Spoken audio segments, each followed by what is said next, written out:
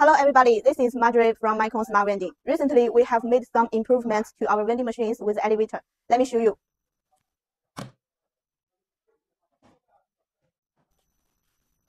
Now we have added a slider here to provide the products stock here.